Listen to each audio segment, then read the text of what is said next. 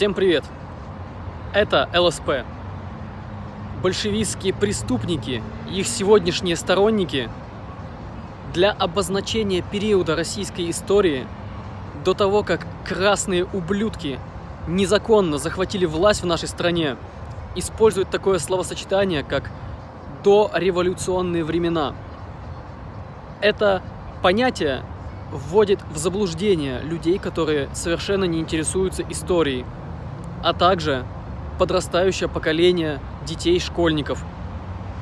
О чем вы думаете, когда слышите впервые такое словосочетание, как «дореволюционные времена»? Наверное, вы думаете о том, что «до» было хуже, чем «после».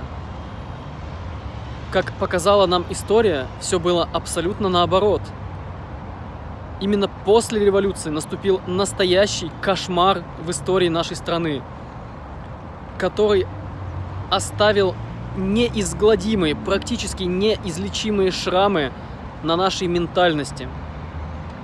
Я в своей речи последнее время вместо понятия дореволюционные времена использую имперские времена.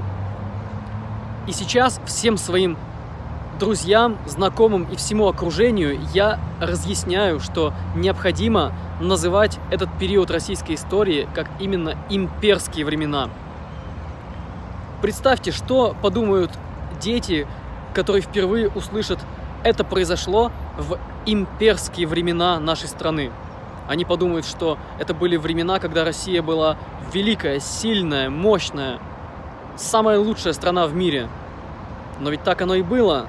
Именно во времена династии Романовых Российская империя достигла своего расцвета и раскинулась от Польши до Аляски, от Финляндии практически до Афганистана.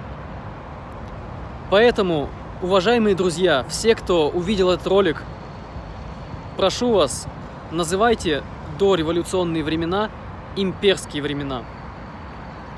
Изменим менталитет нашего народа вместе – Всем спасибо за внимание.